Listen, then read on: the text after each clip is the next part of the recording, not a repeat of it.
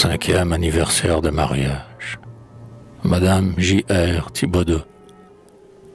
Madame, dans la longue et bruyante série des bonheurs radieux que Dieu vous a donnés, vous avez, comme nous, des moments fortunés, plus ou moins caressants pour votre âme attendrie.